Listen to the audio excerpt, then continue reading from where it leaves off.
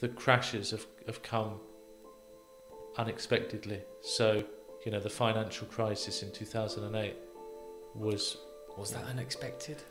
well, it was at the time. It was a Yeah. sharp, sharp reaction to some, It was it some- was a surprise to everyday people. yeah, human and economic behaviour. Yeah, yeah. I mean, it's, and is uh, that human economic behaviour is, is something that I really want to focus on now. Then, because Okay. If I'd have done an apprenticeship somewhere, I, I might have been in the local borough that I grew up in. I don't know. Yeah, we don't yeah, know exactly, where yeah. life takes us, but I, I am thankful for that, for that, and that was through a university, an indirect part of it. Um, As I said at the start, the skills that I learned on the syllabus that I think you know have taken me through, you know, key parts of my of my sort of thirties. If, if if we're trying to benchmark my age, so don't you worry, know, li- we, don't have, we don't have to go that much detail. It's fine. Hello, everyone, and welcome to the Daniel Leese podcast. Today's episode we'll come on to shortly, but we just want to thank our sponsors, Wasta.ai, for powering the podcast. If you haven't checked them out already, head over to Wasta.ai and check them out because they're the professional networking Tinder for the Middle East. So you can connect with different professionals here. So if you're trying to expand your network or you want to move here, these are the perfect guys to use their platform to make sure that you can meet other fellow professionals um, in so many different industries. So go check them out, and guess what? It's absolutely free. So why not just check it out? Because it's free. So today's episode, we're going slightly educational, let's say. Educational. I'm joined by a doctor, not the sort of doctor that's going to save me if I have a heart attack today. However, uh, he's a professor of real estate, and I really wanted to, to dig into his brains and talk about a lot of topics because he's a professor in real estate. Uh, which is obviously we're here in the UAE and real estate is is huge here and it's it's a, it's a big driver to the economy. Um, but also talk about the bigger picture of real estate globally. Some of the events that are going on right now in the world which obviously control um, the, that type of industry. So and also we're also going to be talking a lot about education and the importance of education because it's something that we underestimate on the podcast, and um, we're going to hear the counter argument today of why university still has a place for people today. So, without further ado, let's get into the podcast. Thanks again for coming back and listening. And um, today's episode is with Dr. Michael Waters. Yeah, hi Daniel. Oh, yeah, you Yeah, I'm good, thanks. Yeah, yourself? Very well, thank you. Very well. Um, so, how's the start of the year been? 2022. We're already midway through Feb. Yeah, no, it's all good, all good. Um, uh, the well, if we're talking education, the academic year is is uh, in in full swing. So we we've got a lot of excited students around the campus, as you as you've seen um, as you came in. So yeah, all good, and um, yeah, no no no issues to the start of the year. Yeah, good, good, good. So, in terms of, I mean, we're in um, Heriot Watt University. That's where you're you're a professor. Yeah. Um, it's a brand new campus. Looks absolutely stunning.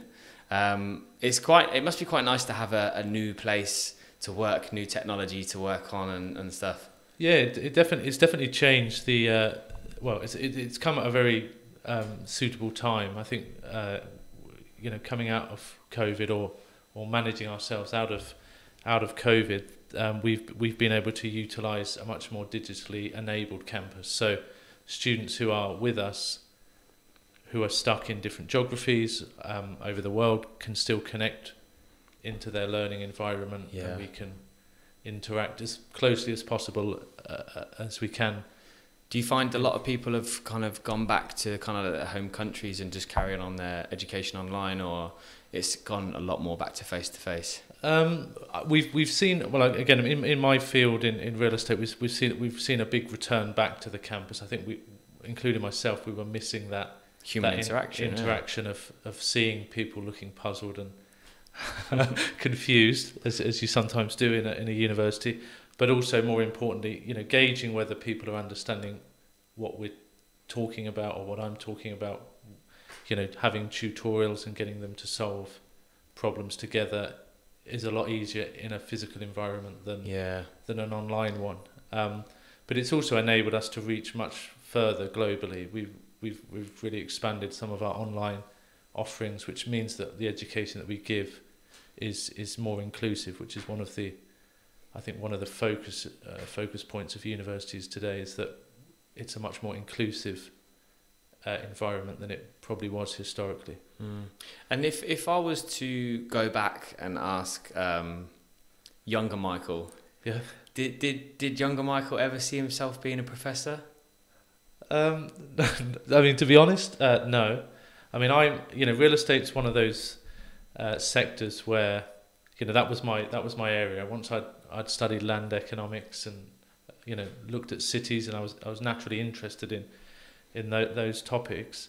It was it was then thinking, you know, how can I build a career uh, that's gonna you know that I can live comfortably off and give me the things that I was measuring a successful career against. Um, so my dad was an accountant, and he tried to p- kind of push, Push me, that onto you, yeah. twist the arm down the uh, fi- uh, fi- accounting. That wasn't really something that I I took on or, or had Yeah. any interest in. And, and real estate and surveying was was probably a, a nice mix between a, a business financial world and a and a property and urban city development world. Yeah. So and then as I took on some jobs, you know, when I as you first start out, you try a few jobs, don't you, and you see what you like and see what suits you.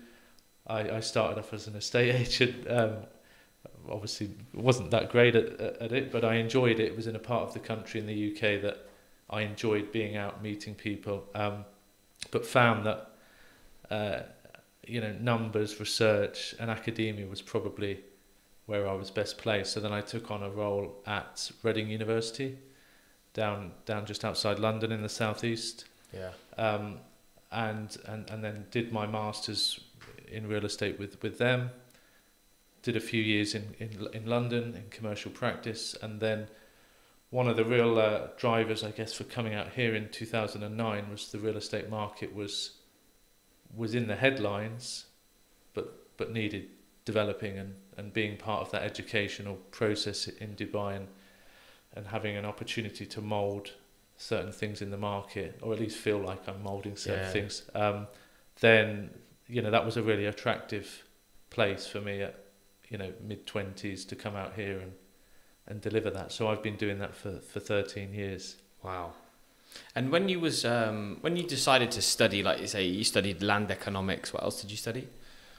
Well, it was it was it was economic geography actually. If I'm being being uh, or human geography, they called it back in the day. So there was physical or human. It was human geography. Topics around um, we we covered things like statistics, data analysis, geospatial analysis. I mean, a lot of things are coming full circle now, in especially in the real real estate sector, where you know the importance of data and knowing how to analyze it and utilize it is much is much more important. I think we've gone through a wave with the internet where we feel that information is is there readily available. If I need to find something, I'll just search for it.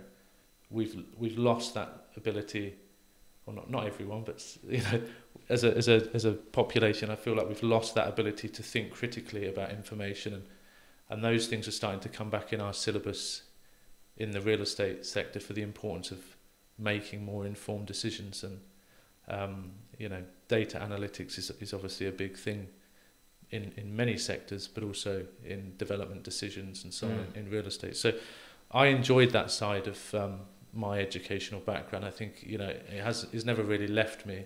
Similarly with the the masters in real estate that I did I learned a lot of financial um, tools which have helped me personally to think about you know money and investing and you know appraising even real estate um, purchases myself. So you know there's certain things that when you look back on your education they don't necessarily feel like it at the time but you you do take some real world application to those. So I think those things have helped mold my you know the way I teach now is is trying to embed those skills um, that are that are practice led uh, Yeah. to help to help the, the graduates you know be be valuable to a, to a company or, or be valuable for their own personal investing. Yeah, yeah. Well, I mean, I mean, I can't really speak from personal experience because I never went to university. Mm. Um, but obviously, what you what were they, what they were teaching you back then, like how are you being able to stay current with you know an ever changing world? Because obviously, what you learned back then is a Yeah, completely of different course, yeah. space now, right? So, how are you able to kind of keep up to date with with all the regulations and all the changes Yeah. and all, everything evolving? Well, I think one of the important things that universities recognise now uh, is that relevance. You know, being being globally relevant, being having an international outlook, but also capturing people so that they feel that when they leave, they're they're ready. They're future ready is the term that we use here at the university. So one of the ways that I do that personally is is ensuring that there's a network in industry that I'm liaising with, I'm speaking with, I'm having, you know, we're having, you know, Q and A's over over topics on, so that you know I'm up to speed with what's going on in in dynamic Mm. Dubai, basically. So you know it changes quickly, and you know one of the things that you you know you have to do as a as an academic is to ensure that you are staying relevant with what with what you're teaching. Yeah. Um, so you know, thinking about global assessments really came about um, through COVID, really, and thinking like, well, I'm talking about this topic to a group in in Edinburgh who don't know the dynamics of Dubai, and and vice versa. You know, there's buildings and case studies we're using in in the UK that aren't wholly relevant to Dubai. So how do we find that balance to get an inclusive space, but Yeah. also where people can feel like, okay, you know, if I want to c- come to Dubai and work here, these are the this is the state of the market compared to a market that I'm more familiar with. So, I mean, from a personal level, I enjoy engaging with the industry and um, helping the students find find placements, work. Uh, although it's not a recruitment line for myself, but it means that I just feel, you know, my, my mind is is is working Yeah. and and um, you know hopefully they find benefit speaking to me. Yeah, I mean that's and, and that's one thing as well is is you know some of the comments that I've had from people that have joined the show before is you know the people that are teaching don't necessarily have the the, the, the life experience but obviously we met at a real estate event where you are working with real life professionals frequently mixing yourself amongst um, the people that are working um, everyday jobs with some of the biggest agencies in the world so again it's what you're doing is you're staying current with the, the, the global trends, the global market, what's actually happening, what's going on, and, and keeping up to date for that. So kudos to to keeping yourself up to scratch because there's a lot of tutors out there and academics and professors and that just they're so old fashioned, right? I mean, uh, we, we, Yeah. some we're, we're talking on a general perspective here, um, but obviously being able to stay current and and also helping your students then with moving on afterwards is obviously a huge benefit to them and that in itself is, is, is an added value. But I suppose that leads quite nicely to the question that I have is again, I know it's a general question. But outside of um, stuff like being a doctor or a heart surgeon or Yeah. um, is there a place for university or is real life experience more important now? Because I'll just I'll Yeah. just I'll just make one because you're itching to ask Yeah. this question. Yeah. If you're not watching the YouTube version, head over because he looks like he's about to rip my head off. No, um, but no, on a serious note, um, I was chatting to a friend the other day. She got her own recruitment business, and she was saying about how one of her student, sorry, one of her um, employees that went to university um, is kind of almost feeling like she should be higher up in the business than people that have been there for a longer period of time. Mm. But she was explaining, you know, like you went to university, this person's been here since they were 18 years old. They've had, you know, on the they've had like hands-on experience with with what we do as an industry. So this is why she's at this period. You will get there, Mm. but yes, you you went to university. However, you've not had the real life experience within what we do. So bearing all that in mind, Yep. uh, far away. Well, I think you know. I think what you're saying is is, is, is totally valid. Um, the, and and I think the I think the worlds of uh, well, you know, it's a blended line between balancing, you know, your your higher academic qualifications and your work experience. And I think when you're setting, when you're starting out, um, you have got a you have got some heavy lifting to do in those first f- first few years. Whether you whether you leave school at eighteen Mm. or or you choose to go to university, um, and you and you enter the workforce. It's it's only until you have that you know that solid one or two years of experience in a relevant field that you can start yourself feel yourself you know moving up.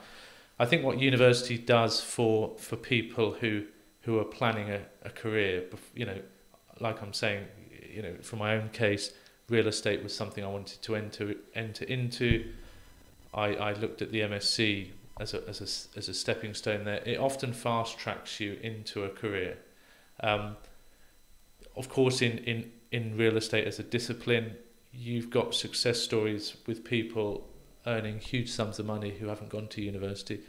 And then there's areas of the sector that are closed to graduate qualified surveyors. So you you would you know a bank coming to you Daniel to sign off a secured lending for a mortgage or for someone's home, they're not going to let you sign that off. But if someone's qualified chartered surveyor, normally that's done through a university. Uh, you know, our postgrad example, you know, two, Yeah. two two years postgrad and one year post qualification. So you're looking at a three year. They accept, they do accept people with ten years experience, but you know, three years versus ten years, the university does fast track that qualification route. Um, it also gives you a bit of, I mean, I, it, it again depends on the environment. It gives you a network of like-minded people to, that that often you're carrying with carrying with you throughout your Yeah. your career. I mean, I, I'm on the postgraduate level. I'm still in touch with people that I, I studied with. I still call them for advice and and a, Yeah. and a chat. So you do have that. Although you can also get that outside university. It you've you've kind of built you built building those stronger relationships within a within a learning environment. And a lot of universities now are looking at at, at what you said at the start. You know, bringing in apprenticeship schemes and, and work placements as part of the study program. So, you know, I know at Heriot Watt we have we've launched some of those kind of products where we're trying to bridge that gap so students are coming out graduating and they've they've had the academic and they've got the work work placements as well. So yeah. I think yeah, I, I think if a university or if a graduate should I say feels that on qualification there's a, a right to passage to a certain level uh, you know those days have gone statistics of you know 2% people you know back 30 years ago 2% were going to university and now that's double digit percentages a lot higher. So I do think advice to anyone who's looking or thinking about university is you know plan where you want your career to go and it'll work for you. But if it's you know if it's just because you've got a degree it's a right to passage it, it's going to be a bit of a struggle I think Yeah, and I think do you know what? And and with it is it's a subject that comes Mm. up all the time, and um, and it's one that I've started to have conversation with more people that have gone to university, and what you said pretty much is what they say. You know, sometimes okay, it's not the education element that I really benefited Mm. from. However, um, you know, I've built relationships with people that will be lifelong. And like you say, you know, you can call these people up and you know ask for advice and yeah. and and you know um, seek uh, information from or even do deals with you know and that's something that you know university buddies you know we went to we went we, we went to university together and, and and that bond is yeah. is like you say it's it's it's solid for for life. So and that's what i'm starting to find a little bit more out. So it's really good to understand the flip side of the other side of the argument right? And like you say everything in life is if you can get one thing from it then you know it's more than enough right? And nine times out of ten we all go to university for business. And Mm. if you can do business deals from these later on down the line then you know everyone's uh, everyone's winning Well, I think yeah. There's also some you know there's there's if you think an 18 year old you know global we've got a go global initiative here at the university, so you you have options to if you're based in the UK or vice versa to come and study in Dubai or or Malaysia. You know, I did a study semester abroad. That was the best. One of the highlights of my my experience. I met people from as far as Mexico to to the country that I was in, which was Finland. So Wow. it was just a semester, so it was four months. But you know, twenty years on, we're all still connected. With, I mean, we've all got families, most of us now. So yeah. uh, we're all we're all complaining about the sleepless nights, but um, no, we're still in touch with each other, and, and that you know that that developed me as a as a as a person. I think you know my my outlooks, and similarly coming to Dubai again, you you know that you have a certain outlook you know outlook on international concepts or or things that just you just you either that you either enjoy that kind of um, of kind of life. And that and that that guided me to you know I want to go and st- I want to go and work abroad. I don't want I don't want to work in the UK I don't want to I don't want the London job or you know Yeah. it, it changed my my outlook which you know looking back I w- if if I'd have done an apprenticeship somewhere I I might have been in the local borough that I grew up in. I, d- I, d- I don't know. I mean, we don't yeah, know exactly, where yeah. life takes us. But I I am thankful for that for that and that was through a university an indirect part of it Yeah. um, as I said at the start, the skills that I learned on the syllabus that I think you know have taken me through, you know, key parts of my of my sort of thirties. If if if we're trying to benchmark my age, so, Don't you worry. know, like, we, don't have, we don't have to go that much detail. It's fine. but yeah, I think I think yeah, I, I think there's been some you know academic skills that I've learned um, and I've benefited from, and yes, you know we can look at you know we can look online and find learning resources, but they're not structured like they are in a university environment. We we have it we, you know we have a lot of industry come in. Students in the classroom are benefiting from understanding the context of the academic work with with practice and, and thinking about those things. So universities generally are trying to scope out and make graduates make it easier for them to find jobs. I mean that's that's one of the reasons why you go to university is to Yeah. secure a job in a field that Yeah. that university is well known for. So I suppose it's like everything in life that you get good and bad universities, right? And the bad do, universities yeah. that ones that give you give the reputation of university was a waste of time, I Mm. suppose, right? Whereas it's not all the it's not always the same. But also the doors are never closed on. You know, we, we, we allow students to come in with eight years experience. They haven't got a bachelor's degree. So that option is, is always there on the postgraduate side where you, we are validating, we are recognising someone who might have missed out on education, whether that was a choice or whether that was Mm. other reasons that we don't need to yeah. concern ourselves Because with. before, before it would be like a privilege, wasn't it? It's like you it had was. to get certain grades to go Yeah. to university, and yeah, my parents, that was that they had a test and that test dictated whether they went to university. And there was no back, you know, there's no revisiting it. It, it was all done at a fairly young age and and that wasn't a fair system. Mm. Yeah, so you're you're a very well decorated um, professor in what you do. So let's talk Thanks. more in detail. uh, let's let, let's talk more in detail about your qualifications and, Okay. and, and what you hold as a professor. Okay. Um, well, I yeah, I've got a bachelor's and a and a master's, um, as I've already said.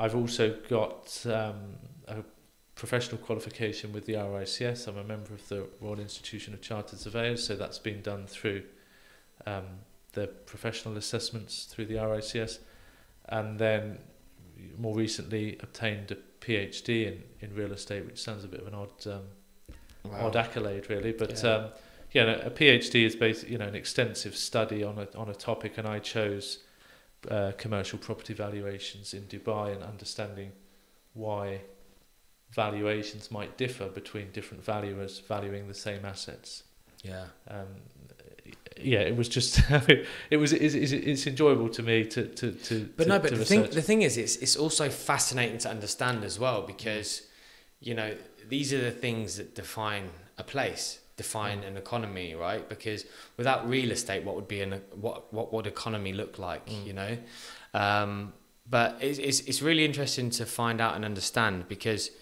Obviously, the real estate market in the UAE is, is slightly different to what you get in, in the UK Mhm. um, build quality, for example, um, all the services and loads of differences in the properties. So, what I mean, talk us through how a property is valued and what makes it valuable um, in this particular country. Okay, well, the I guess the attributes of, of real estate don't differ hugely um, between Dubai and say London, for example. Uh, you know, from for, on a residential asset, you know, if you're on the waterfront, you've got a great view. Uh, you've got I mean supportive amenities around you, mixed use. You've, you know, cafes, restaurants, uh, shopping districts, and so on. Accessibility. They're the, those those are the major drivers for for real estate values in in a residential setting, and in a commercial setting like an office or a, mall. Um, it's income producing. So we take, you know, what's the cash flow, what's the future anticipated cash flow, and what what are investors, you know, assessment on on the risk of that. You know, that's expressed through a yield, and it's just a multiplication of of that. So, you know, a lot of this, a lot of the value, um, the valuation of commercial units is literally a multiplication of, of risk or perceived risk. So that's that's changed a lot in Dubai. You know, obviously, you know, when I was first when I first came here, everyone wanted a ten percent yield on a residential purchase, and now we have more more data, more information, and we know you'll be lucky to get ten percent these days with with with yield compression. So, um, yeah, I think I think the valuation principles are not too dissimilar. We live in a bit of a unique place here because of us, you know, the skills and training of of valuers in the commercial world are are all you know you know coming from all different markets. Um, so you know that does create a bit of um, a, a bit of differences in, in methodologies and so on. But we should we should be in a ballpark figure and Yeah. agree on that, particularly if we're coming from you know the RICS. If we're all RICS qualified, we we kind of follow the, the print guiding principles of them to value. So the way we value things and, and the way people attribute value to those um, is, is, is, is how it's how it's derived basically. Yeah. Now you mentioned about um, compressed yield. Yeah. Um, a second ago, which obviously landlords expected when they invested in real estate. But what's actually been the contributing factor to compressing the yield?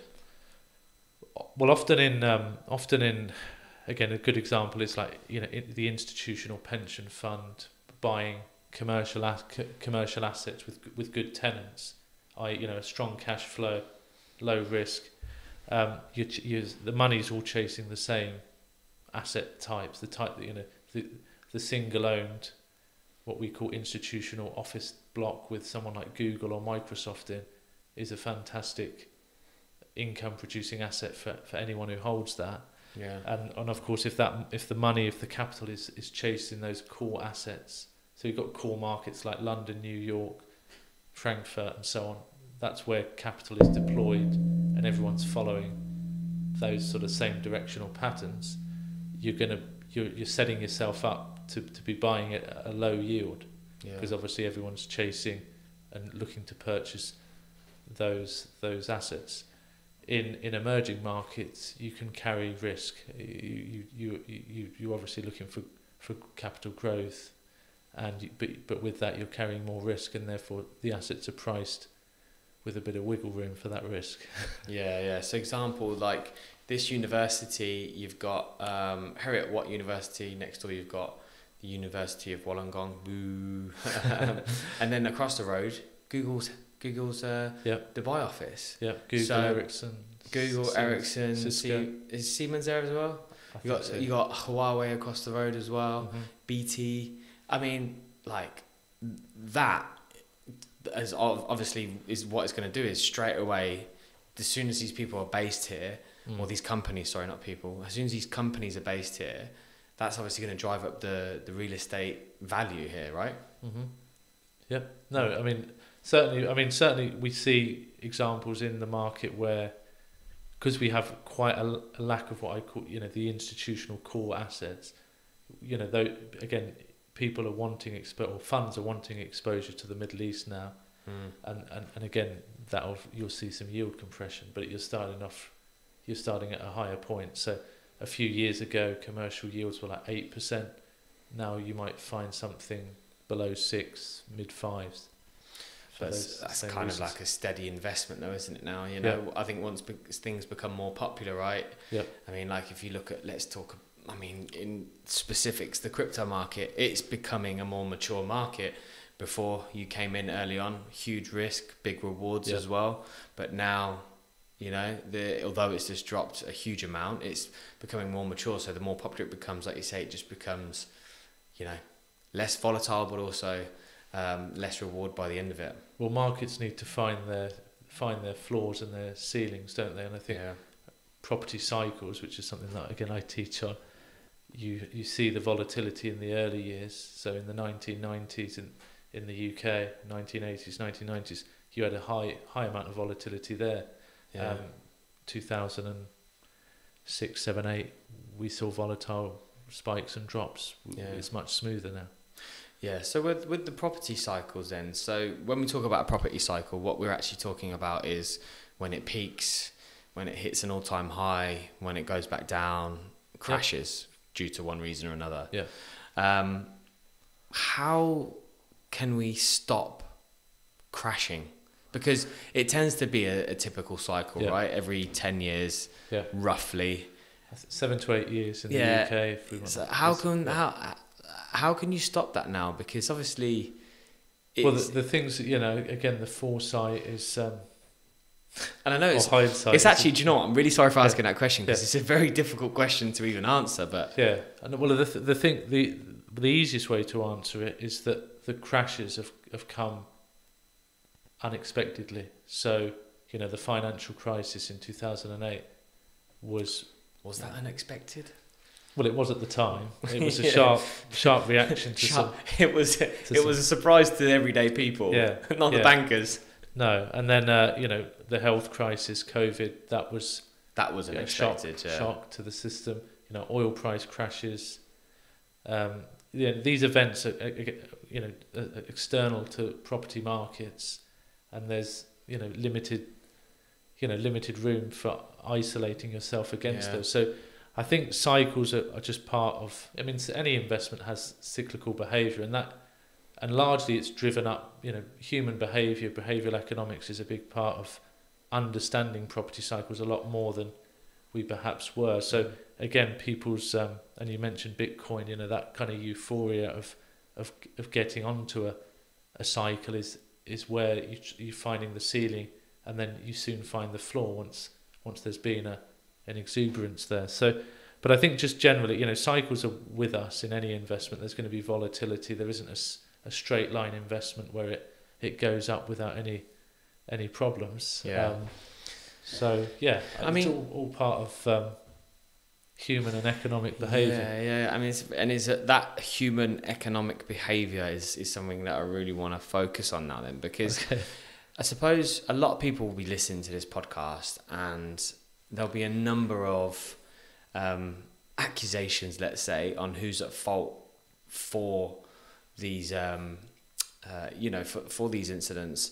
Because, like you say, it's always humans that create it. But when you're, I mean, I'm just asking a question, literally Mhm. thinking out loud. But Yep. for me, when I look at it, right, apart from, like you say, COVID, most of the time, you know, there's been downturns in the market or crashes due to people of power being greed, greedy, right? If you do the research on, for example, the financial crash in 2008, why was that? Because all the bankers were just screwing over people that you know that didn't have that much money, and inevitably it got to the point where it got so bad you couldn't Mhm. return from that. So, from from I suppose the question I'm asking is, it, it is human. Well, I wouldn't call it economics, like destruction at the end of the day, because we're always the ones that create it, and it's always you know like I'm trying to find the right words to explain it, but it's like we're so destructive to the point of that's why there's cycles. We never learn from the stuff that happened previously. Yeah, I mean, there's, an element to, to, to that, and I think yeah, obviously we live, you know, governance and and um, I, we we can we could call it greed if if we want to term, uh, you know, the financial component, um, but largely a lot a lot of the triggers are you know it's the uncertainty. So like you know, again going the health crisis, you know, we've never dealt with it. We didn't know what it was going to do. We were we were pausing the economy, so we, we were get it was our reaction to it was was hurting us. It was like one of those things that you know we want to get out, but we were doing it to protect well, all of us, but also vulnerable parts of the of the population. We hadn't gone through that period. We didn't know how to manage it. Now we're now we're 18. What is it? What two years on now Mm. from from that? There's probably a perception that it can be managed, and you're seeing that with you know we're not you know the there's a reduction in the the the stay at home number of days to self isolate if you've had close contact in in certain markets. There's a relaxation of of social distancing measures here. I think coming in tomorrow, if I'm not mistaken, in in you know we've got full capacity in other places. So there's probably a, a, a view now that we've lived through enough of it that it's no longer an uncertain. It can be managed. So once you reach those stages, in in something like the health COVID crisis, then of course that's why we've got Yeah. that rebound back up, and we've got a bit of a, Yeah. a normality there. See, what you mentioned there is very um, relevant, and I completely agree. But that's related to a global pandemic that's related to health. Mm-hmm. So, in terms of financial crashes that are caused by hum- how Yeah. human economics, Yeah. how do we prevent that in the future? Well, we we have regulate. You know, regulation is supposed to protect us. You know, us from every day? Yeah, from banking. You know, from from banking and exploitation or, or banking. basically greedy bankers. I mean, that was driven by you know again pushing you know pushing the boundary of th- things, and, and there is there is a view that um, yeah there is a view that regulation needs to needed to be better. I mean, even the rating of these products Hmm. that you know you, you were selling them they were AAA rated or you know whatever ratings it was just a, a ben, you know benign pro- process because you had a lot of bad debt wrapped into them so Yeah. there was a business case for the product and it got pushed to the to the limit of what was reasonable and it left it left the impact that we had to live through as a Mm. result so in that case yes it's- a modern example of where the banking sector kind of um, unraveled and, and it was at our expense um, but you know regulation is there to to help mitigate those risks um, you know lending requirements and so on. So you know for example in the UK you, you, you know they were lending above 100 loan to value for, for residential property. You know you could take more debt on than the actual house was worth.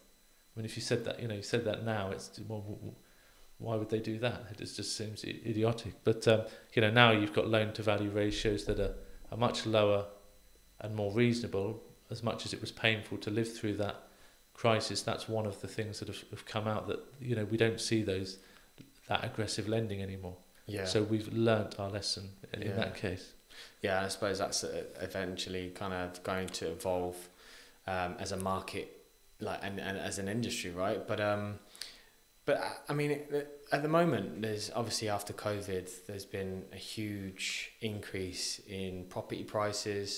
You know, I did a real, uh, I did a podcast with a real estate agent last week. Yep. And you know, he's happy is he Ah, I mean, he did 194 million dirhams worth of transactions, so I'm guessing he's quite happy. Yeah, Yeah, but yeah. um, but yeah, no, I mean, like I was talking about the statistics, and there was like over 84,000 transactions last year, Mm. and obviously property prices going up. I mean, there was an increase of property price by like 73 percent.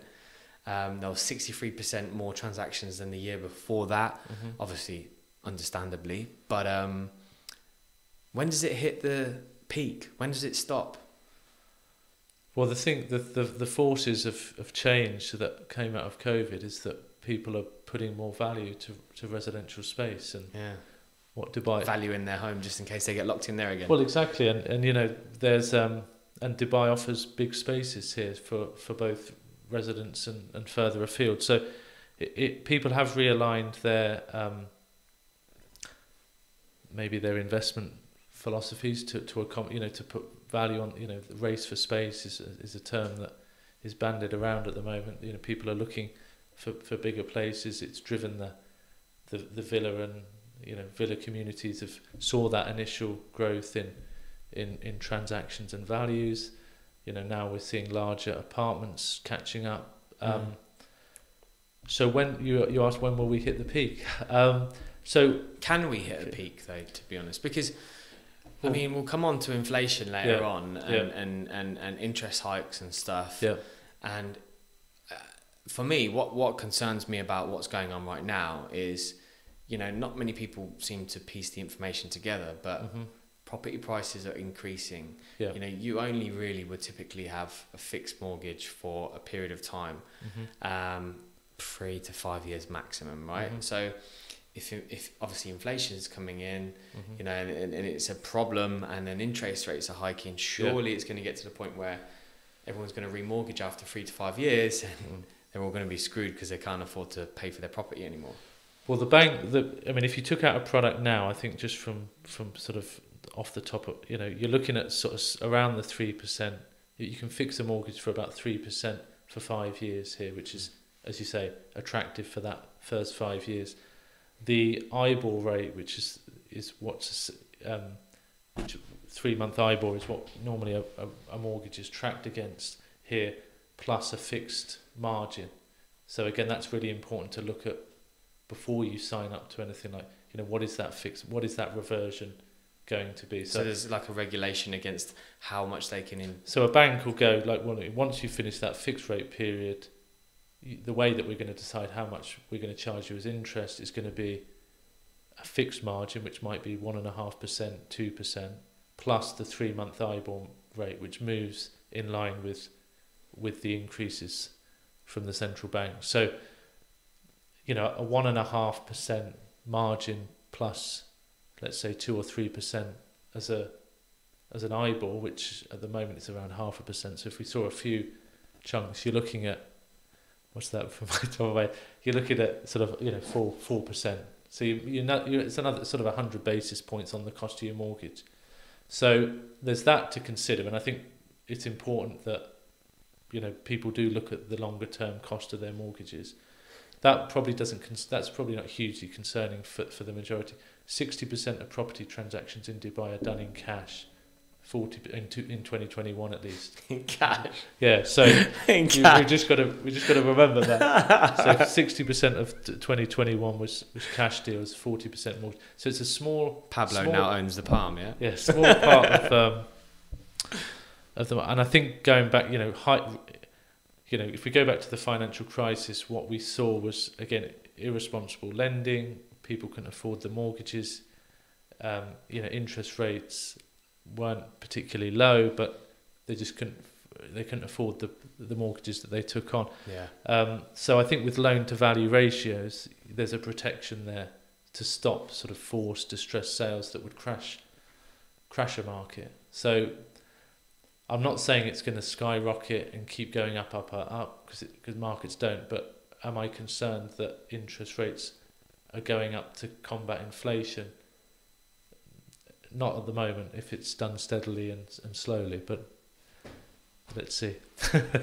Who knows? Who knows? Um, you know, obviously, we'll we'll we'll never really get to know the full picture because obviously we're not part of that world. But um, but yeah, hopefully it's it's more controlled because like like you say, it's it's the everyday people that just work their asses off every day Mm. um, that are affected by it, right? You know, the the millionaires and the billionaires, they've got enough cash to not have to worry. But it's the stress testing of you know taking on the mortgage and realizing that yeah things things can change and you know put. I think the lending here is done responsibly. There's there's affordability checks in place. Yeah. And you have to put twenty percent down on the You've property. got a well. twenty percent down So payment. Not and- many, you know, you know, that's a lot of money. Some, and Mm. especially the house prices now. Mm. You know, it, not many people can can can afford that. So, uh, you know, at least that's kind of counteracting, um, you know, irresponsible lending because they can't lend in the first place. But do you ever see them relaxing that even more? For example, like say, for example, that the the property What, to make it prices. fifteen percent LTV. No, but I mean, um, if, say for example, uh, in England, you're a first time buyer, you can Yeah. get ten percent. Mm-hmm. Now, if property prices keep on increasing, then it's obviously potentially could slow down the market for buying. And then they, I mean, they relaxed it from 25 to 20. Do you think it could go lower? Do you think they would look at going lower to inc- to basically create a, a Well, they had a help to buy scheme that again helped. You know, five percent unit to put five percent down. in the UAE? In, oh, in the UK, this was. Yeah, yeah. In the UAE, um, it's a risk. It's a risk decision for the banks to decide because if they see Dubai as a more stable offering, Yeah. then and and the and the world of lending is more competitive, and they want to make better returns for their their money, then then that is an option for them to do. I mean, banks have already started to lump in some of the upfront purchase cost into the mortgage product, which is a relatively new thing. And again, that's that means that I only need twenty percent, and I can throw all the additional costs that the six or seven percent, you know, that you're paying agents or the lands department They that can can be wrapped up into a into the 25 mortgage, year yeah. mortgage. So you kind of forget about it. it's, it's there, but um, so that allows you know that does help the affordability. I mean, I've always said that we should there should be a bit more leniency with uh, you know true end users and, and people who are living in the property where there isn't the rental voids that you would see. Of course, you, you know there's the argument that you if you lost your Mm. job you'd leave, but you'd then just switch to a a buy to let as you would in the UK. We don't see that product here, so that would help the that would help push the end user to to get a better deal than, than what Yeah. they get currently. And what is funny as well is what I always found quite fascinating about the UAE market is why is it that the buyer pays the commission and not the seller?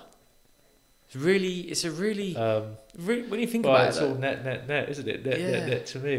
it is a it is it is a different dynamic to because you you know the agent is you know the seller is instructing the agent to provide that service and then the but the argue the, the argument is um, well if you know if they've got to factor in a two percent agents the price is two percent more which it's all cyclical so you know I you know remember the days when you know if there's distress in the market you can you can negotiate any the rule is 2% both parties but it's negotiable. So if the contract you know the contract's 2% 2% then then that's what it is that's what the agreement is. But in a down market you might the buyer might say well you you pay, you pay it seller Mm. because you're you're distressed and I don't you know and likewise in a in a frothy market yeah, the buyer, you know, the seller will say you pay for the the upfront. It's more typical that the buyer does pay, but it is negotiable, and and uh, that discussion could or should be had. perfect, perfect. Well, thank you for, for, for that golden bit of knowledge right there. But um, in terms of a, in terms of a marketplace as itself, so you Mhm. obviously got a PhD in, in, in the UAE real estate sector for um, uh, commercial surveying, right? Mhm. So, but as as a as a market itself now, Mm-hmm. the UAE, like it's such a strong economy, like it's it's a hub, it's vibrant, people love coming here, you know. Um, where where does it kind of position itself now from like a global leader in terms of markets? Because like I say, it's evolving constantly. They are, you know, some of the stuff that I was learning last week in the podcast with with Danny, the real estate agent. You know, they are really becoming so much more due diligent in and I mean, 12 years ago, you could buy a house by signing the back of a napkin. Do you know what I mean? So, like, Yeah. now it's completely changed. It's got so many more processes and so on. So, Yeah. yeah, I mean, how does that make it position as a, as a place globally for real estate investments? Well, I think the regulation helps investor confidence. You know, um, one of the things that Dubai Land uh, have been working hard on over the last, well, I'll say 12 years, just so I don't sound as dated, is that is the transparency. So externally, JLL, the the property um, consultancy group, they do an annual, or sorry, every two years they do a a global transparency index, and that and Dubai Land have been really um, proactive to accommodate some of the recommendations of that report to improve investor uh, relations. So that you know a lot of that is regulation. You know, title deed regulation. Uh, when you're flipping properties, if you know the fli the old school flipping, writing on the back of a napkin kind of thing, as you said, you know that's all now regulated with off-plan title deed registration. If I buy an off-plan unit, I need to pay the developer 25% of that contract before I can sell it on to you. So there isn't that flipping, there isn't that opportunity to, to queue up, go to the back of the queue and, and sell it on to someone else like like what we may have seen before. so um, Uh, I just don't like queuing, although British people do like queuing, so it's a bit of an odd dynamic.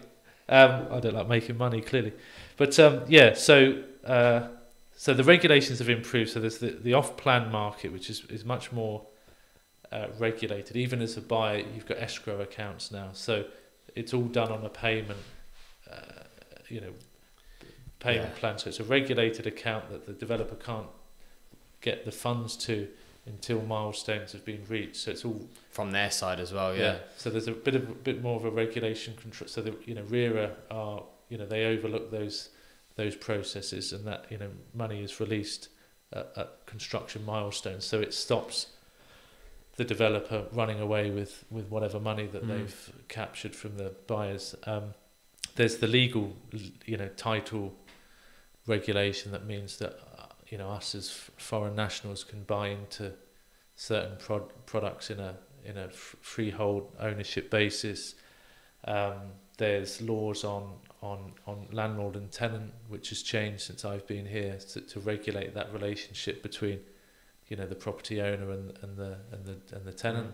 So that that helps. You know, that all helps with with um, you know transparency, the way information is is shared publicly. So, you know, when as I said, when if we were buying something 10, 10 years ago in Dubai, if you tried to find a transaction of that building for the unit that you were looking at, it would be near on impossible. So you'd have to say, if I'm going to take a punt on Dubai, I'm going to use a 10 percent yield on whatever the rent is at that time, and that might be a, a rational way of deciding that that was the right price to pay Mm. for that unit. But of course, now we can see, we hear fantastic commentary from the likes of you know Property Finder, Data Finder, Property Monitor, that you know the information's there, the transactions are there. DLD published daily transactions as well.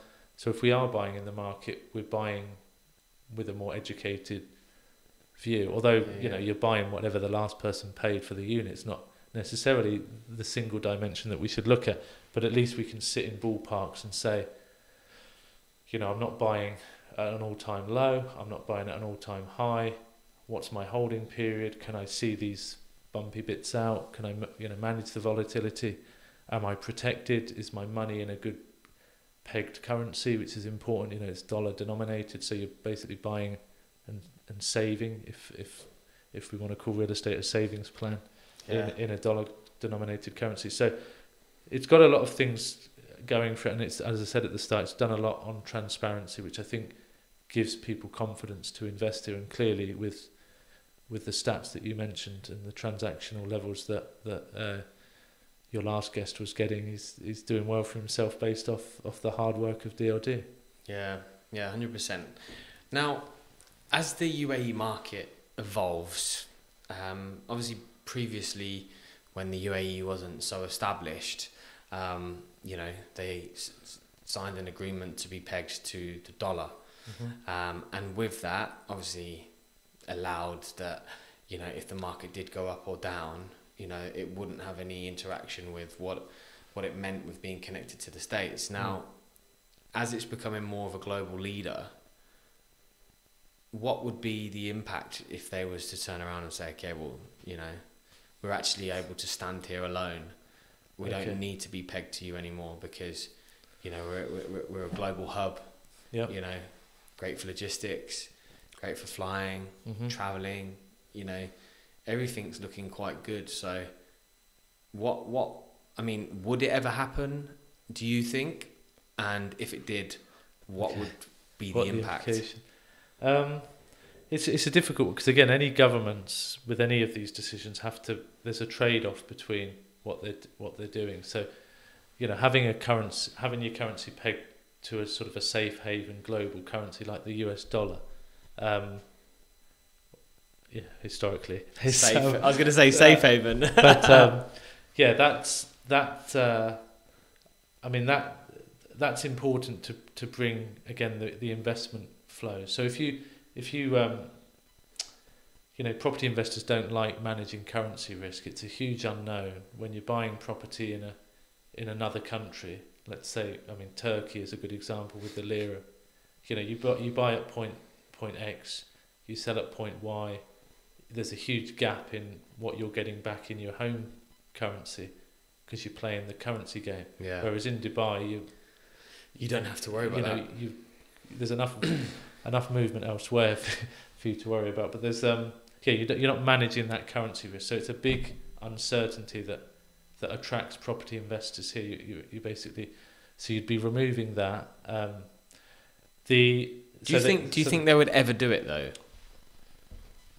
Well, nothing's impossible. So they, they may do it, but it's again, it's you know, you're managing. You you know, they've taken the position that they want more exchange rate certainty than than other monetary policy components. So we, you know, inflation has been high in Dubai. You know, if you look back at inflation, it was, you know, up at twelve percent at some at some t- points in time. So it lost its ability to manage inflation versus having the positive benefits of of a US pegged Mm. currency. Um, if it floats itself f- freely, then you and I might choose to Im- invest or save or store our our savings in our in in other global currencies, and that would weaken the dirham, and there'd be implications of those things. Whereas at the moment, we might, you know, there's a bit of you might store some of it in dirhams, you might have some in dollars, you Mm. might have some in, so there might be a big implication there. Um, at, at, the moment, I, I I hear that there's no intention to change that relationship, but again, Who knows? as with many government decisions, it's it's it's an un, it's an unknown, and Mm. but I but I think it brings a lot of benefit from the investment side, particularly property investment around currency risk, to have the US denominated component with it. Right. So there's a, there's a few more topics I want to really um, touch on pre, prior to us kind of like ending the podcast and so on. Okay. So um, obviously, what we couldn't control is COVID. So from from from you as a professor that kind of teaches and and and and you know tutors people on on the market, it's like what's what has the impact actually been like realistically factually? What's the actual impact been on has it actually got because uh, previously everyone was thinking doom and gloom but you know the way the market's reacted now has it actually been more of a benefit than anything else? Well, I think in my, I mean, uh, earlier, I mean, I was asked if, at the start of, of the COVID pandemic to sort of assess whether what how I saw it, and I did. I kind of, I kind of gave. I mean, I'm not giving myself credit here, but I called it a V shape. It would be a quick V shape reversion because you're basically pausing the economy.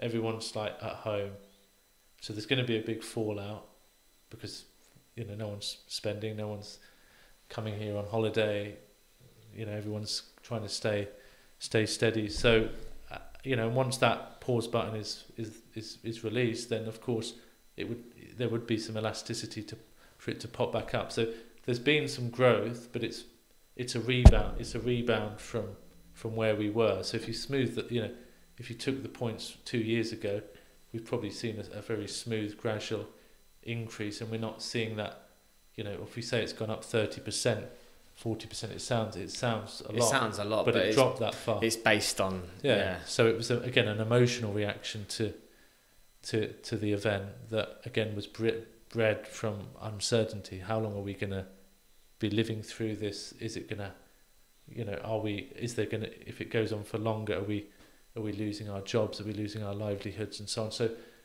um so I think the impacts of, of just ex- maybe that you know from from an academic perspective from an econ- economic perspective they've probably accelerated trends that were always going to happen. You know, digitalization, working remotely. Companies didn't really like it as an option.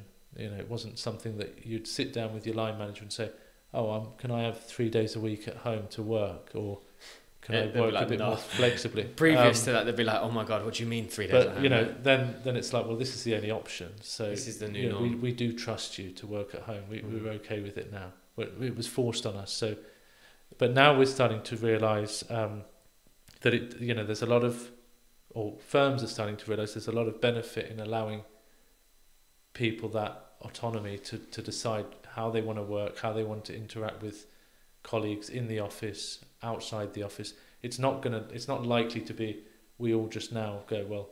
I love working at home. I'm going to continue for the next thirty years of my life working at home because it, it's going to be it's going to be a rare rare position to be in, I think. But there's certain elements where we think, okay, we've lived through it. It wasn't a complete disaster for, for us as a business. We learnt a lot of positives from uh, working with our global offices from an individual perspective. So um, I think we'll find, you know, obviously when you have these reactions, we think very, you know, we, we tend to, you know, we tend to turn short-term things into long-term trends when actually they're just reactive. So, you know, the death of the retail, the death of the office kind of, we're not going to see back. that. It came back like yeah. quite quite quickly, didn't it? And, you know, we, we're in a blessed position in the UAE where we have, you know, good internet, we have good healthcare. We don't, didn't probably need to, but there are other geographies that, you know, the office environment provides those essential, you know, business infrastructures. So yeah.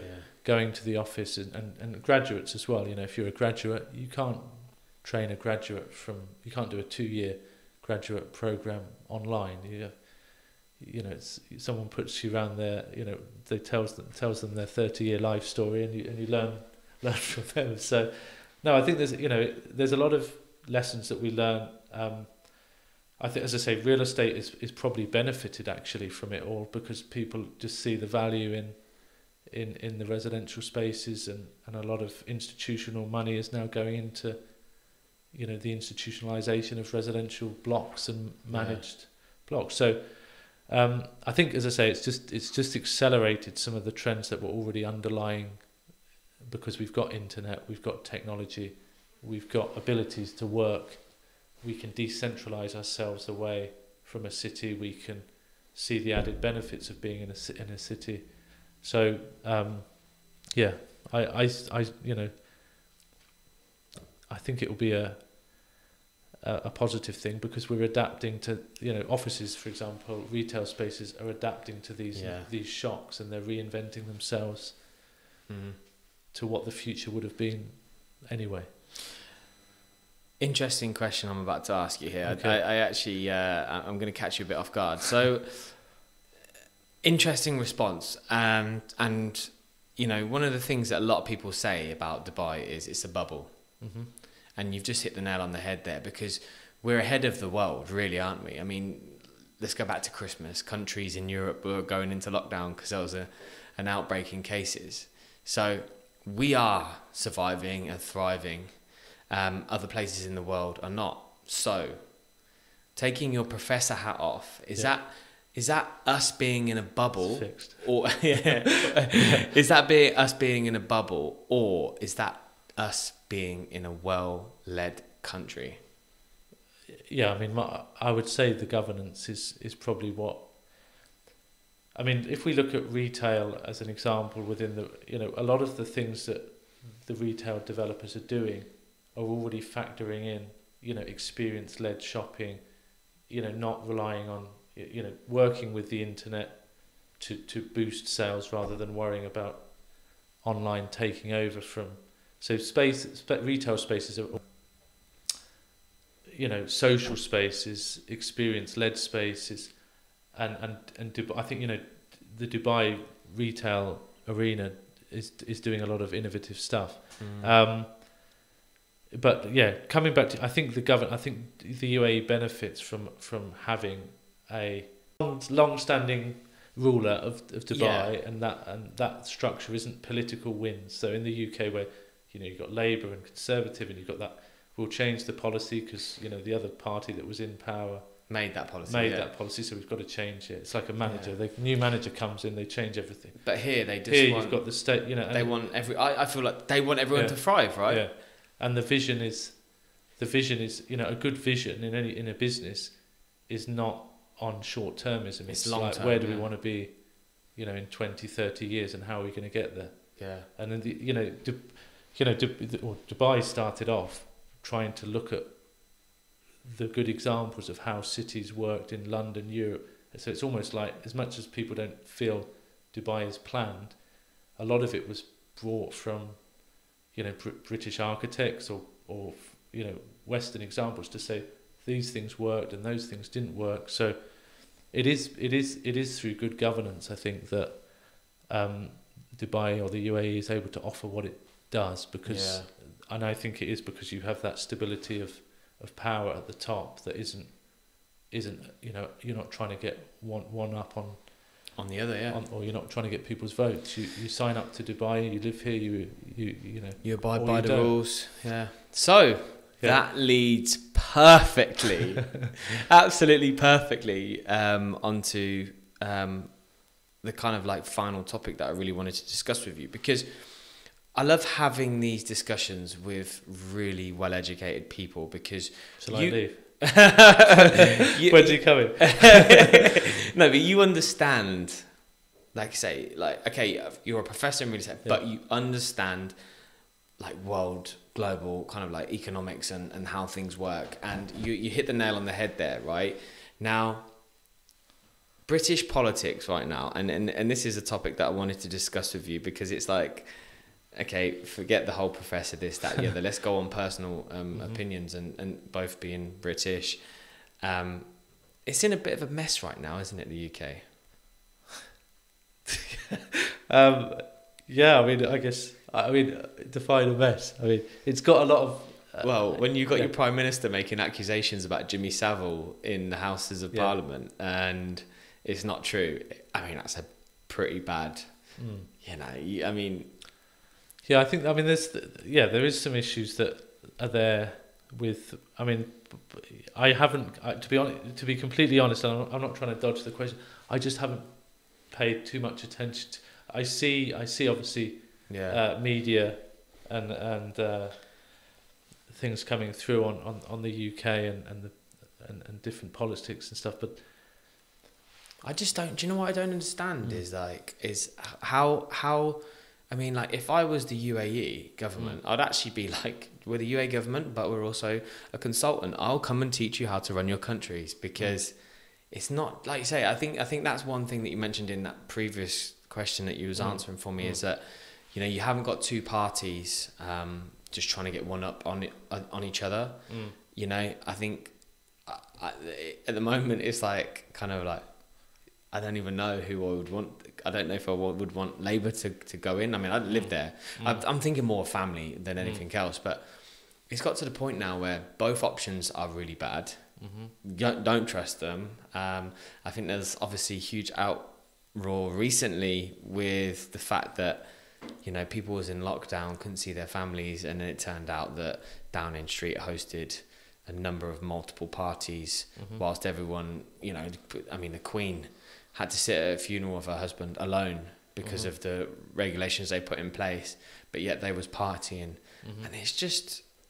You, you, you wonder how these people Well, again, it's that perception that we're receiving, or the information you're receiving. On it's it's, it's a trust thing, isn't it? It's like you, people are losing trust because the credibility is being questioned about Yeah. about that. So, you know, you you want governments to lead, you know, and make decisions on on the big things like how are we going to attract businesses to come to the UK because we've just signed a deal to get out of Europe Mm. you know, not you know, we had a party during during lockdown. So it's it's kind of like there's some bigger things happening that you'd want the government to sort of focus be on. more be more vocal. And again, it's you're talking about political switches during the term of a, relatively short term of five years.